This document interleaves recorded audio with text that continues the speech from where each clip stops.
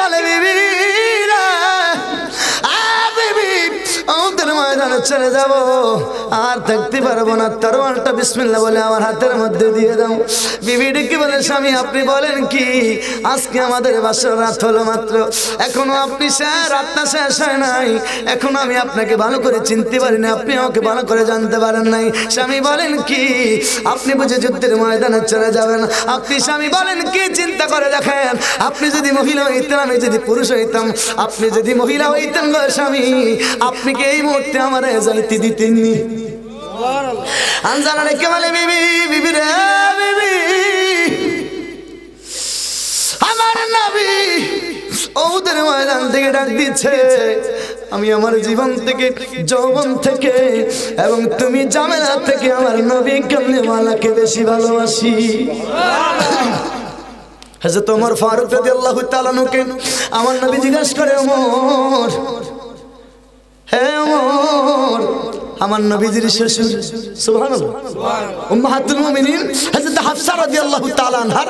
বাবা, আমার নবীজির শ্বশুর।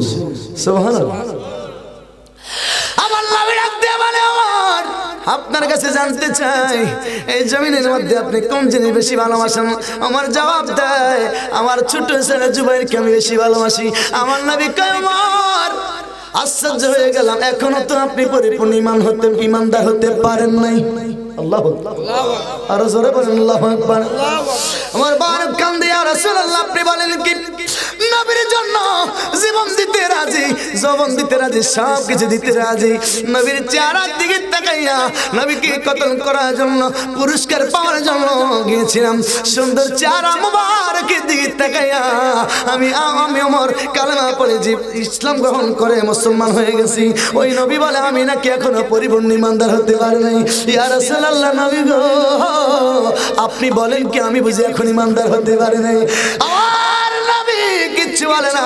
এবার দ্বিতীয়বার রাখবে কোমর। একটু ভালো করে বলেন, এরপরে আপনি কোন জিনিস বেশি ভালোবাসেন? আমি চিন্তা করে দেখলাম সব কিছু থেকে আমি আমার জীবনকে বেশি ভালোবাসি। আমার নবী বলে এখনও তো আপনি ইমানদার হতে পারেন নাই। চিন্তা করে ভালো করে দেখেন তো, আপনি কোন জিনিস কি বেশি ভালোবাসেন? আমার সব কিছু চিন্তা করে সর্বস্ব করলে আমার নবীর কয় আমি চিন্তা করে দেখলাম সব কিছু আমার ছেলে নয়, আমার জীবন নয়, আমার জীবন থেকে গো নবীজি, আমি আপনি রসুল্লাহকে বেশি ভালোবাসি। এবার আমার নবী কয় ওমর। এই মাত্র এই মাত্র আপনি ওমর পরিপূর্ণ ইমানদার গেছে। কি বুঝলেন মিয়া? সব কিছু নবীর জন্য দিতে প্রস্তুত। অথচ নবীজি কয়, আপনি এখন ইমানদার হইতে পারেন পরিপূর্ণ। আর আপনি আর আমি কোথায়? একটু চিন্তা করে দেখান তো, এখন কি সব কিছু থেকে নবীজিকে বেশি ভালোবাসতে পারছেন? পারেন না আসলে পারেন না হুজুর বক্তব্য করে পারেন না হানজালা বলে বিবি? বিবি, তোমার আমার পারবে না। বিসমিল্লাহ বলে আমার হাতের মধ্যে দিয়ে দাও। এবার জামেলা হানজালা বিবির নাম জামেলা ডেকে বলে, স্বামী, আমি বুঝতে পেরেছি গো। আপনাকে ধরে রাখতে পারব না, স্বামী গো। আপনার মধ্যে দেওয়ার আগে আগে আমি একটু দোয়া করব। আপনি আমার সাথে আমিন আমিন বলবেন। স্বামী, ডেকে বলে, বিবি রে, গতকালকে আমার নবী বলে দিস হানজালা আগামীকালকে যুদ্ধ হবে ওদের ময়দানে। তুমি হানজালা, আমি নবীকে কেমন ভালোবাসো, ইসলামকে কেমন ভালোবাসো? বাসের ঘরে বিবিকে রেখে প্রমাণ দিতে হবে। আমি তোমার সাথে আমি আমিন বলব, তুমি দোয়া করবে আল্লাহ। আমার স্বামীকে ওদের ময়দানে নাও, শহীদ করিও না, গাজী বানায় ফিরে আনিও। আমার নবীর কথা গতকালকে বুঝতে পেরেছি, আমি হামজালা ওদের ময়দানে শহীদ হয়ে যাব। আরও জোরে কন সুবহানাল্লাহ। আর আপনাদের বিবিদেরকে, আমাদের বিবিদেরকে যদি কন যদি কন বিবি, মাহফিলে যাইতেছি। হয়তো মরেও যাইতে পারি, বাড়িতে দিবনি। বাড়িতে দিবনি। আরে বান্ধি রাখব বল আমি তোর বাপ মানে ভালো লাগছে বান্ধি রাখবে কি কয়? কথা কোন ঠিক নেই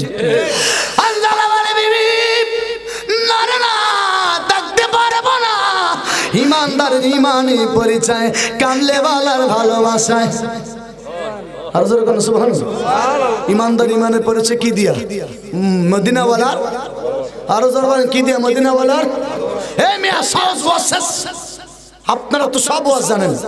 শেষ জামানায় আমাদের মধ্যে নামাজি, আমাদের মধ্যে আলেম, আমাদের মধ্যে মুক্তি আমাদের মধ্যে মুফাসসির, মুহাদ্দিস, ফকি, কিতাবওয়ালা, তাফসীর কারক 73 রকমের হবে। কত রকমের?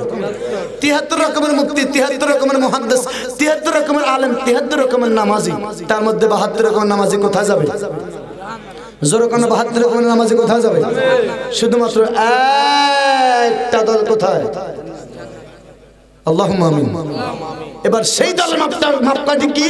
নবীজি বলেছেন আমার ইমাম হাসান হুসাইন হচ্ছে নুহ নবীর নৌকার মতো। নুহনবীর নৌকার মধ্যে যারা উঠেছিল, তারা নাজাদ পেয়েছিল। আর যারা উঠে নাই, তারা ধ্বংস হয়ে গেছে।